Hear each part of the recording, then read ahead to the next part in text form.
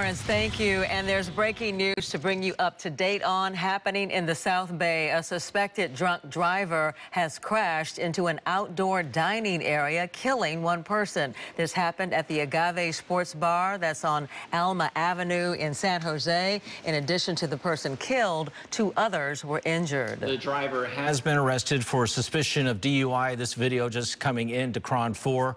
Uh, you can see authorities there, and it looks like a suspect in handcuffs. You just saw a woman there being led away by police. And there you can see one victim being loaded into an ambulance, again, on Alma Avenue. Is just south of downtown San Jose, again, at the Agave Sports Bar. We're going to keep monitoring this story, and as soon as more information comes in, we will pass it along.